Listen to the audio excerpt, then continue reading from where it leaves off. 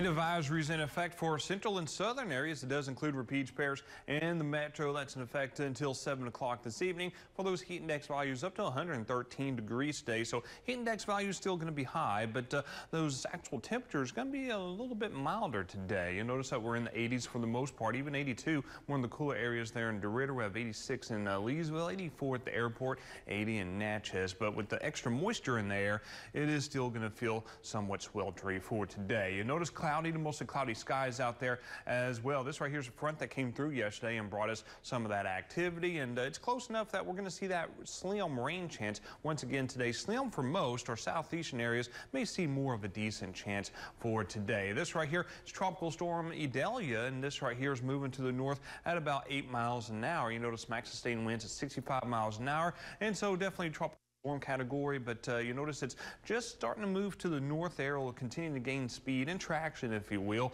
and continue to strengthen into a hurricane, category one hurricane, then two, then before it makes landfall, unfortunately, a Category 3 hurricane, and it looks like that's headed toward the Big Bend area of Florida there. And you can see it may take another day or so by the time it really gets its act going and its traction up to the north. But uh, the further north it goes, the faster it'll go and pace or speed. But uh, you'll notice the Big Bend area of Florida here, there from about Tampa Bay is where it's projected to make landfall at as a major Category 3 hurricane. And then you notice it kind of skirts the South Carolina coast as a tropical storm and then heads back out into the Atlantic. So we're not going to see any impacts from that. Um, we do kind of need the rainfall from it, but, uh, you know, we don't really need some of the other things that come along with uh, tropical cyclones. And so as we take a look at the upper levels, you notice that uh, hurricane moving up the Florida coast there, and uh, that continues to move out to the east toward the Atlantic. But you notice some troughing still going on across our states in the southeastern U.S., and that could prolong a little bit of a slim rain chance in the forecast. Now, as we head into the weekend, notice upper level high pressure in place, and that will allow those temperatures to get back up to near the triple digits for the actual temperature. Now, as we take a look at this afternoon, you notice that we're seeing some isolated activity today. Maybe becomes more scattered further to the southeast later on this afternoon. Temperatures in the low to mid 90s. Tomorrow morning starting off a lot like what we did this morning, maybe less light rainfall out there, just more partly cloudy conditions, but the temperatures right around the same. Then we're going to be in the mid 90s for your Tuesday and a slim rain chance, especially for east and southeastern areas on your Tuesday, but the rain chances will be slimmer on Tuesday than what they'll be this afternoon.